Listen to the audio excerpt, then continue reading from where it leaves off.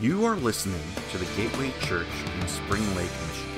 To learn more, visit us at thegatewaygh.com.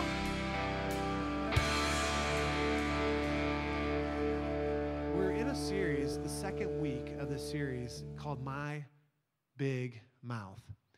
And the power of what we're talking about over these few weeks uh, are it's, it's kind of a deep work. And I understand we're going to talk about two different things today, and we'll get there in a second. I understand that um, this is not necessarily easy stuff, and you know it can be personal, and it may not be the most exciting material to be like shouting the pastor down, so to speak. But if you want to try, you can, because it helps. And I, I did see one pastor. He said, uh, "the the more you talk back, the faster we'll get to lunch." And uh, and people were like, "Amen, brother." and uh, I'm not promising that though. So anyway. But how many of us, seriously, have ever put our foot in our mouth and you wish you had a pause button or a rewind button in your life? Oh, yeah. All right, all right. I'm talking to the right crowd. Well, we're going to wrestle with this. And I think that the growth that's going to come out of this series is not going to happen necessarily in the pews here, but it's going to happen outside of these four walls when we are reminded by the Holy Spirit to hold our tongue and to be quick to listen and slow to speak and we'll get there in a second. We started with a premise in proverbs chapter uh, chapter 18 verse 21 that said that life and death is in the power of the tongue look what that verse says the tongue has the power say with me of life and death there's a power within us words over the history of mankind have changed the course of nations has started and ended wars. I mentioned last week that it's made men rich and women famous. There's power within our words. And we really honed in on a verse in James chapter 1 verse 19 that said we need to be quick to listen and say it with me slow to speak. I'm glad you came back. We all need this, don't we?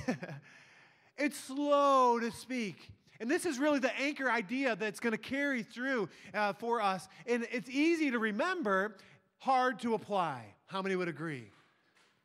And so we gave you a rubber band, and we gave you a rubber band as you're coming in. Let me see your rubber bands if you got them on. And the idea here is that with the Holy Spirit's help, that He will help us to be quick to listen, slow to speak. And when our big mouth gets us in trouble, we just give ourselves a little snap. Now, I don't know about you, but this last week, the Holy Spirit was really working overtime in my life. I broke two rubber bands. I'm leading the way. No. And I, it, it's kind of sad. Now, there were a few times I didn't have to snap myself because the Holy Spirit was revealing. I'm saying, mm, I'm just going to keep my mouth shut. and it was good. But then there was the one time, Thursday night, not pretty. Jessica's parents were over. Mom and dad, I'm so sorry, put you through this. Jessica was there. We had some of the staff over. And I could almost, it was like an out of body experience. I don't believe in those, but it was kind of like I was looking in at myself and my mouth wouldn't stop talking. And I just, I mean, it was painful. I'm not going to tell you what I said or what I did, but I, I went back and apologized and um, had a nice talk with my daughter in particular. But anyway, but it's like, oh, Lord, help us with our big mouth. And I hope that we're going to do some things and I, it, that God's going to make some difference. And I'm looking at some sharp people. I can see, I mean, I see it in your eyes. I would look at you and say, You guys are advanced. And so we're going to take another step today. How, are you ready for another step? All right, good. It's part of the human condition, right? We're going to address two areas today.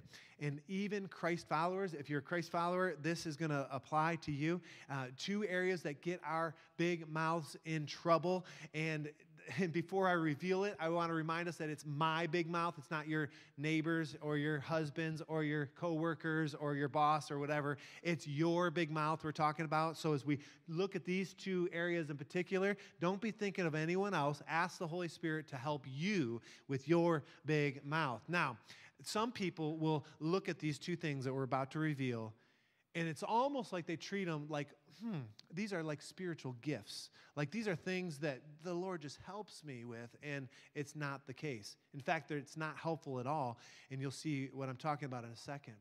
No one likes these two areas, but we all fall victim to the two realities of complaining and criticism.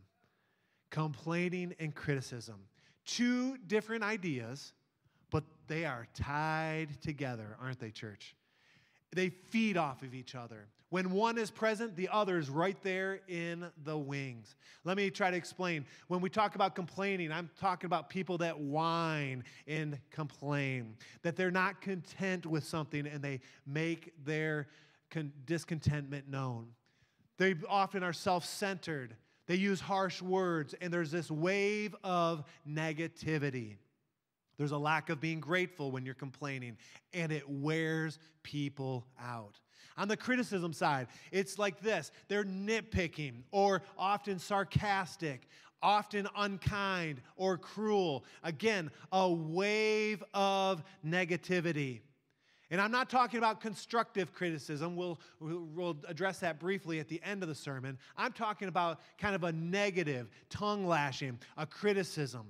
And that criticism leads to complaining. And then complaining leads to being critical. And both are life sucking, they drain people around us.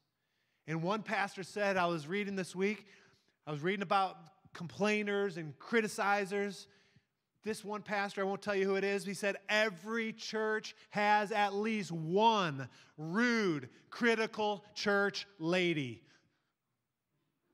And I thought, I can't believe they said that. And then he said, if you strike that woman down, two will pop up in his place. And I thought, I'm glad I didn't say that. Complaining when we blame. I know who you're, I mean, maybe you're thinking of someone, not here, right? What happens when you are critical or you're complaining? What happens is that you pretend to have some insight. And in spiritual realms, it's like a spiritual insight. Like, oh, yeah, the Holy Spirit, and then you're just critical. Or you're super wisdom and you offer that when no one was asking. The truth is, critical people think that they are like an expert in an area, oftentimes. Oftentimes, though, the reality is that they're insecure, often petty, and it's ugly. Isn't it? I was talking with Bobby in the office about this on Thursday afternoon. I was just sharing with him kind of the direction I was going for the week. And and I said, man, I found, I found some resource that said, man, when people are critical, when people are complaining, it's often from an insecure place. He said, yeah, that's true. And then he said, well, what about the narcissist, the person that thinks they're all that and more? Because often they will criticize as well. And I thought, man, that's great. So whether you're insecure or you're so full of yourself, it can help, it can move you to criticism or to complaining. Complain in the Old Testament, the greatest example is the children of God, which is hard to say, but it's true. And the children of God, they're often selfish. And what's interesting is when they were exposed in their complaining, what it says in the Bible, that they took their eyes off God. When you take your eyes off God, then you become critical or you will complain. And it's a real problem. It is not a spiritual gift. Again, it's insecurity or negativity. Have you ever met a person that's critical and said, hmm, I'd like to be like them? No. Or you find someone that's really is good at complaining, you're saying, man, I'd like to be like that person. I mean, that's not, I mean, we're giggling. We're, we're it's like, no, you don't want to emulate that. The wisdom in the scripture says to stay away from that. Stay away from people like that. Stay away from people like Proverbs 21 says. Turn there with me, Proverbs 21, and I'll just warn the guys that are here if you're sitting next to a lady, just keep your arms down and your eyes forward when I read this verse. It says in Scripture, better to live in a desert than with a quarrelsome or nagging wife. Good job, guys. The ladies are chuckling. Better to live in a dry, arid, there's no food, no shade, no, no, no anything, it's hot, than to live with someone that complains or is criticizing. And I was telling Pastor Bobby that I was going to use that verse, and, and he said, Hey, that was a father speaking to his son, giving him that advice. The flip could happen, no doubt. Ladies, you could say the same thing. You'd better, it'd be better to live in a desert than with a quarrelsome or a nagging man. Isn't that the truth? No one likes that. We've got to watch ourselves. And in Galatians chapter 5, I want you to turn there with me. Uh, whether you're a Christ follower or not, this morning we're going to look at this. In Galatians 5, verse 14, it says, The entire law is fulfilled in this keeping of this one command love your neighbor as yourself. You know this to be true. We want this to be true in our own lives. And even, like I said, if even if you're not a Christ follower and you're just, you know, kind of hanging around, it, you're just living, you're breathing air, the human nature is like, yes, we should love each other. We should care for one another. The golden rule do it to others as you'd have them do unto you. And then the next verse is very insightful. It says, if you bite or devour each other, in other words, if you're complaining or if you're critical, there's definitely application there. It says, Watch out or you will be destroyed by each other. The truth of that cannot be understated. Everyone knows this. And if you put complaining and criticizing in there, it will destroy the intimacy of your marriage if you're not careful. It will drive a wedge between you and your kids as you're raising your kids. And what's even worse, it will keep you from sharing the gospel in your workplace because no one wants to hear about the gospel from someone that's a complainer or that's critical. Isn't that the truth? Lord, help us. If your words are harsh, if they're biting, you will be destroyed. When you're self absorbed, when you take your eyes off God, you need to heed the word in verse 15. And the inverse is, po- is very powerful. The opposite is true that when we get closer to God, what happens? When we're in His presence, we're in His Word daily, we're maybe worshiping at home, or we're here worshiping, we're filling our life with godliness. What happens? We become more aware of our sinful nature, don't we? The truth is, we, we say, all right, we've got this sinfulness, but then what happens is then we see the grace of God all the more. So we're getting close to God. We have the sinful part. There's grace, right? And that should lead us to be less complaining and less critical about the speck in our neighbor's eye when we've got a plank in our own. Isn't that the truth? I hope you see that. So, if no one wants to emulate a critical or a complaining person, and you understand that it's hard to maybe see it in even in your own life, when we know the golden rule, why do our big mouths get us in trouble? Let's wrestle with that for a moment. Let's go back to James chapter 1, verse 19. He says to be quick to listen and slow to speak. Well, James doesn't stop there. In James chapter 3, we see this discourse about the tongue, the single most sustained discussion in the New Testament uh, on the use of the tongue. It's interesting, this past Monday and Tuesday, if you listen to the radio and listen to Focus on the Family, two days in a row, there was a guest down there that wrote a book called Keep It Shut and was talking about the power of words. And I'm like, oh, God, you're complimenting what's happening on Sunday. And the, the lady, Karen Ehman, she, she did a personal study of all the times that the tongue or the mouth or speaking or speech in general or how talking affects relationships. There were over 3,500 times in Scripture about this. And we see in James chapter 3 a great discourse. Turn with me there, and we'll start in verse number 2. In verse number 2, it says this We all stumble in many ways. That's a great verse, a great section of the verse. I love how practical and how honest James is with the church. He's saying, Look, we all make mistakes. And then he goes on and says, Anyone who is never at fault in what they say is perfect, able to keep their whole body in check. And then he goes on and gives us three illustrations. The first one is regarded to a horse. He says, when we put a bit in the mouth of the horse to make them obey us, we can turn the whole animal. How many have ever been horseback riding? Just show of hands. All right, a few of you. All right, excellent. And when you put that bit in the mouth, it controls a huge, giant animal. And then in verse 4, it says that, or take a ship as an example. Although they're so, they're so large and are driven by strong winds, they are steered by a very small rudder wherever the pilot wants to go. Look at this ship, this huge ship, kind of representing maybe uh, what that's a pretty nice ship. But anyway, the rudder, the idea is so small compared to the size of the ship. In both of these cases, there's a disproportionate power. Everyone say that with me disproportionate power. And when you run the idea of complaining and criticalness into these verses, think about the power of our tongue. Then he goes on, he says, likewise, the tongue is a small part of the body, makes great boasts. That's verse 5. And it says, Consider what a great forest is set on fire by a small spark.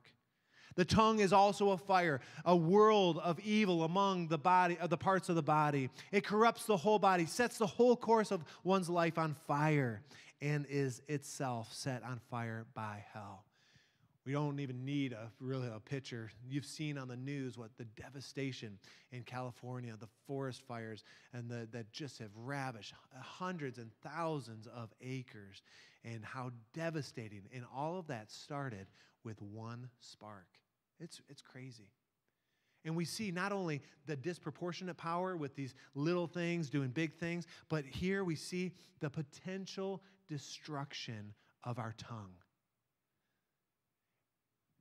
Put criticism and complaining through that filter, we can destroy others when we're critical and when we complain. Put those three up together. I want you just to look at this for a second and maybe pick one of those images that really sticks out something this week that you can kind of look back to? Is it the first two, the disproportionate power of something so small to do so such great things or you know big things, or is it the little small spark, the potential danger? And then run that through the filter in your life of your complaining, maybe your criticalness. And then let's look at verse number seven. Verse number seven continues. He says, All kinds of animals and birds and reptiles and, the, and sea creatures are t- being tamed and have been tamed by mankind. And you think of animals, right? You think of dogs and cats and maybe elephants and, you know, and, and, camels and horses and even guinea pigs that can be tamed by humans right? How many have ever had a pet and you tame it, right? With birds, the same thing is true. Cockatiels and parrots and macaws and other birds you can train. And I had this revelation. Maybe the Bible has an error because it says even reptiles can be tamed by mankind. And I'm thinking, no. No one likes reptiles. Maybe it's just me. I did a little Google search. And there's actually something called a blue tongued skink. You can look it up that can be tamed. And there's actually a lot that's written about this. PH or Pet MD, Pet MD, it's a website I didn't ever know that it even existed. It says that one of the articles is Can your reptile bond with you? I'm saying no. we kill reptiles. We chop snakes' heads off. We spray poison so reptiles stay away. And if you like reptiles, I'm sorry for that illustration. But I'm saying no, there might be an error. I don't know. But God said it's true. So even these things can be tamed. But look at verse 8. The point it answers the question why our tongues, our big mouths, get us in trouble. Look what it says. It says, But no human being can tame the tongue. It's a restless evil full of deadly poison. The fact is, no one can tame it. You think, man, James, thanks for the encouraging word, right? Like, come on. And then he goes on, verse 9, and he goes on, he says, With the tongue we praise the Lord with, and our Father. And with it we curse human beings who have been made in God's likeness. Out of the same mouth comes praise and cursing, right? My brothers and sisters, this should not be. Then it says, Can both fresh water and salt water flow from the same stream? My brothers and sisters, can a fig tree bear olives or can a grapevine bear figs? Neither can salt, a salt spring produce fresh water. And then you're like, okay, what's next? Like, where's the answer? What do we do about this? And there's nothing. Nothing. I've read this particular passage probably hundreds of times, literally. When I first was uh, a kid, or first called the ministry when I was 11 or 12 years old, I felt God wanted me to be a pastor, youth pastor, I thought for sure at that time. My youth pastor said, Well, I want you to preach. And this was the passage, James 3, that I preached from. I studied Pastor Bruce and I was excited. I prayed a lot. I got some insight from some other people. Some people were helping me. And I thought, my, my pastor said, You got 20 minutes. And I stood up there with my notes and I preached my little, heart. I thought revival was going to happen. And, uh, and five minutes later, I had nothing else to say. now, I know what some of you are thinking. Can't we go back to the old days? no, I'm sorry. I got more to say. I don't know. But the truth is, I've studied this. And every time I read this, James gives no solution. I'm thinking, what in the world? He leaves us hanging. There's no takeaway, just bad news that our tongues are evil. I'm thinking, man, but church, that is no excuse for your bad behavior with your mouth. Because the Bible, in its entirety, does help us with what to do with our tongue. And I want to look at a section of scripture, Ephesians chapter 4. We have God's word, and I believe it's going to spread some light, speak some light into this discussion. Ephesians chapter 4, this is Paul writing to the church in Ephesus. And if anyone had the right to complain or the right to be critical, the apostle Paul I mean, you look at his life and all the craziness that happened, all the setbacks. He ends up in Rome late in his life, and that was his number one desire was to get to Rome, and he's in prison. Come on. And over and over, he's beaten and bruised and dragged out and just all kinds of negativity.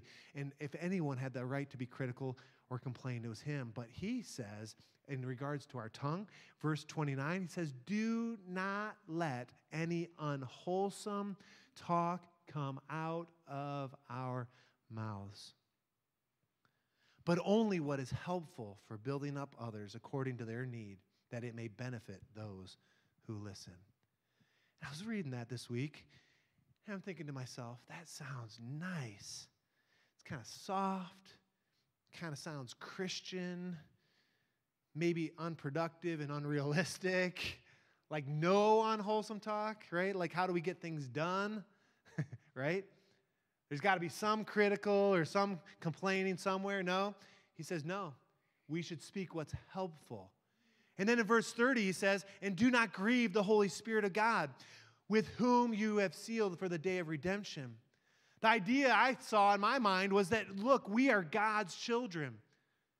And he's looking on us and he's given us some instruction in his word. He's saying, Look, no unwholesome talk out of your tongues, out of your mouths. And then he sits back and he watches us, kind of like we do with our own kids. And how many times we watch our kids and we see them do or say something, and you're like, Ooh, that's going to hurt. That's going to leave a mark, right? And you're saying, Man, I wish I could, right? Don't, oh, don't say that, but they do. I can almost see God in his heavenly throne looking at some of us. And all of a sudden we get angry or we start complaining or we get critical. And God's like, oh, oh, oh that's going to leave a mark. Like, don't, don't say that. Don't do that. It's not going to go well. Verse 31 gets to the heart of it. He says, Get rid of all bitterness, rage, and anger, brawling and slander, along with every form of malice. That's where we ended the service last week. It was a, it's a heart issue, right? and we need the Holy Spirit's help. That's where the root cause is, is what's happening inside. And then Paul gives the anecdote. Look what he says in verse 32. He says, Be kind and be compassionate. Be kind and compassionate to one another, forgiving each other, just as Christ God forgave you. He says, You need to forgive.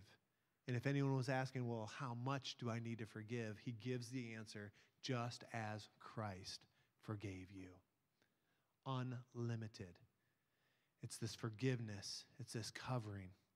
It's Christ's example that would teach us to be quick to listen and slow, slow, slow to speak. And I get it. It's easier to find fault. It's easier to look at what's wrong instead of what's right, isn't it? And I was thinking, well, who in the New Testament really described someone that was critical or complained a lot? Can you think of a group of people that kind of did that? Who? The Israelites, that's Old Testament. New Testament, the Pharisees. That's what I was thinking. I was thinking the Pharisees, they're always like down and, and negative and, and all these things. And then I thought, well, wait a second. It's not the Pharisees that we're like when we're critical or we're complaining. We're actually more like the devil himself. Because what does the Bible say? The devil is the accuser. He's the one finding fault and pointing it out in our lives. He's the one that gets us to complain or gets us to be critical. He's the one that fills us up with pride or puts us down so bad that we're insecure. And the anecdote is again to get close to God so that we can see our own sinful nature, right? Be magnified the grace of God in our life, saying, God, I, am so sinful, but God, your grace is so amazing. And when we accept the grace of God, then we are not going to be so critical about the speck in our neighbor's eye when we've got the log in our own. Lord, help us. The verse I just mentioned a few minutes ago, Matthew 12, 34. The idea is that out of the overflow of the heart, the mouth will speak. It says, For the mouth speaks what the heart is full of. And if you're speaking complaints or if you're critical, you got to know it starts here. It's a heart issue. And the Lord, I believe, is going to help us in this season to really get our minds around what does that mean and to help us make good decisions be quick to listen and slow to speak. Now, we got a couple minutes here. There's a couple takeaways that I was just making note of that this might help you kind of get your mind around this idea in your life where you might uh, could you know where you could see some improvement and there's one thing that i think that i want to start with is kind of talking to yourself saying you would want to say this to yourself i am not going to criticize anyone or anything that I don't understand. This is important. We talked about it a little bit last week, looking at things through the proper lenses, right? That we always look through things from our own age bracket or our own socioeconomic status or our own upbringing or whatever the case might be. And we got to be careful that we are not criticizing something we don't understand. The second thing is that we have to know that words are not equally weighted. And when we come to being critical or complaining, the power of your words are different with neighbors or in your workplace or with a friend or within the home. Do you understand that? You can say to a neighbor passing by, you know, you know, something negative and they may not even recognize it. You say the same thing at work, and it carries a little more weight. Or in your neighborhood, or certainly in your home. And the power of our words at home cannot be underestimated. The third uh, takeaway is this idea that there is no place for sarcasm in family. This is important. When you're raising your kids or within your marriage, there's no place for sarcasm because it wounds Listen, kids can be destroyed by your sarcastic words. The volatility never goes away. It's true. Dads, I really feel like this maybe for someone, your sarcasm doesn't build anything but resentment. It does not make your son or daughter tougher, it just makes them tougher to connect with when you are sarcastic. And I have written in my notes knock it off. There's no place for sarcasm in family. The next idea is that we want to wow people to life, not how people to death. This is the type of person you want to be. Bobby and I were talking about this. I think Andy Stanley said uh, it was kind of known for this idea that, that when someone gives an idea, instead of be like, well, how is that going to happen? You know, you know what, you know what's going to, ha- what is it going to take to do that? Instead of howling it to death. And so a great idea, you're like, you walk away like, I wish I'd have never had an idea ever in my life, right? I mean, you can how something to death. Instead, you can wow it to life. Be like, wow, all right, let's see, what can we do? Or, you know, you put things together. And, and so you wow things to life, not how things to death. And the last little takeaway is never offer criticism.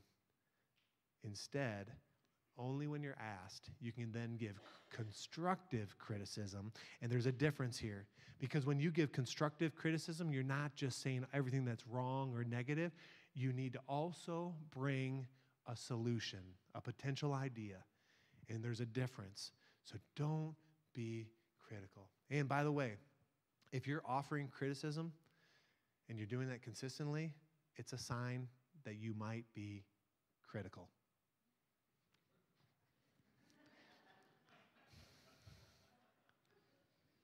And just one more thing if you complain or criticize once, it's like, okay, you recognize something. There's always things, you know, and sometimes it's in your mouth or in your head and you don't say it, but sometimes you even say it. If, if you say it once, it's like, okay, there's a pass. Or like, okay, I recognize that and that didn't go so good, or you're critical or whatever. But if you repeat it more than once, let's say you say it two or three times, you might have a problem. Church, we are called to be like Christ, to be full of love. And there's no place to complain or to be critical. So let me ask you this Where do you have work to do in regards to these areas? In regards to your big mouth, where do you have work to do? And let me ask you maybe even a more interesting question, a follow up. Let's put that up there. Who hopes that you get to work soon? Seriously. In regards to being critical and complaining, where do you need to work? And who is hoping? And my guess is it's probably someone that's close to you. Isn't it the people that are closest to us that get the brunt of our verbal tongue lashings? I know it's true in our home. One last thought, and then we're going to wrap this up. Social media. 10 years ago, 20 years for sure ago, we never would have be adding the idea of social media in a sermon like this. But the truth is, some of the things that we say online comes across critical complain. And it feels good to vent sometimes, right? You share a post, maybe you didn't write it, but you kind of like it, and there's this anonymity. Why do I want to even say that? Anonymity. I can't, I can't say it. I messed it up first service too. You know what I'm talking about, right? You think no one will really catch it, but the truth is, it is shocking how often people will say things that are critical or they complain about themselves, about their friends, about their family, and let's be honest, about politics. And you never say those things in person. Stop it. We are to be known by our love. Christ is our example. And Lord, help us. And again, like I said, the growth here is not going to happen just in these few moments. The growth is when we leave here and we, with the Holy Spirit's help, can be reminded to be quick to listen, slow to speak. And in regards to being critical, in regards to being a complainer, we may see some snaps this week. But what will help is if we change our perspective. The song we sang at the end of the worship set this morning is It Is Well.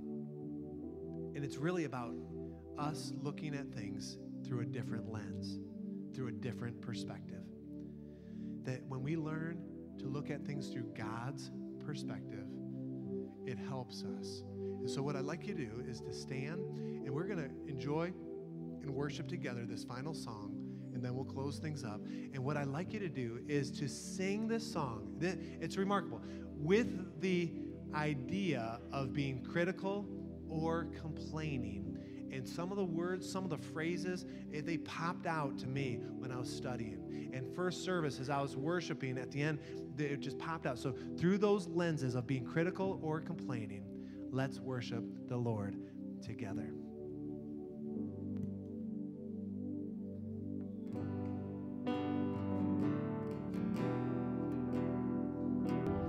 Hallelujah. I love the part of this song about my eyes being on you, Lord. Through it all, my eyes are on you. It reminds me of the Old Testament, right? When the children of Israel complained, what was the issue? They took their eyes off God. So important. This morning, as we leave here, let's ask the Holy Spirit to remind us And let's not let our big mouths diminish our witness or tear down or be destructive in any way. There's power in our words. This morning, one last thing before we go. I want to just address those that may have found yourself here at the Gateway Church that don't have a relationship with Jesus. If you don't know the Lord as your personal Lord and Savior, walk out of here without making that commitment. The Bible is really clear. It just says that we've all sinned, we've all fallen short of the glory of God. It's kind of like what James was saying. We've all stumbled in many ways. No one has to acknowledge that. I mean, it just is the truth. We all know that in our heart. But then the Bible also explains that the gift of God is eternal life. Well, what's the gift of God? It's Jesus dying on the cross, taking your sin and my sin, and He offers us what we call salvation. He saves us from our sin. And what is, what is He saving us from? He's saving us from an eternal damnation. Because the Bible also says if there's even one sin, that goes unforgiven, we won't be able to get to heaven. There's no sin say, How do I get to heaven? Well, you get to heaven by putting your trust in Jesus. He's the one that has taken our sin. And when he died on the cross, the blood that was shed for him, it covers your sin. And this morning, there are some that are here that need your sin covered. And we want to offer you the potential for you to accept Christ and for your sin to be erased. So that when Jesus looks at you, he looks at you as perfection. say, No, you don't know my story. What the things I've done wrong, it doesn't matter. We've all sinned. And he can cover you with his blood. If you're here this morning, you're saying, Man, I need that. I want you just to slip up your hand right where you are. If you need Jesus to forgive you of your sin. Just slip it up. I'm going to pray with you. Got a hand right over here. Who else? Second service, saying, Yeah, that's where I am. Just put up your hand so I can see it. I want to pray with you, walk with you. Is it just the one this morning? Anyone else or this afternoon? Anyone else? Just slip up your hand. For the sake of the one, I'm just going to ask that you would repeat a prayer after me. We call it the sinner's prayer. It's not the prayer that saves us, but it's believing the words. And so let's say this together. Say, Dear Heavenly Father, Dear Heavenly Father, please forgive me please forgive me for all my sins. for all my sins. Come into my life. Come into my life. Make my heart clean. Make my heart clean. I believe that you died on the cross I believe you died on the cross, and your blood was shed and your blood was shed for me. for me. Help me to live for you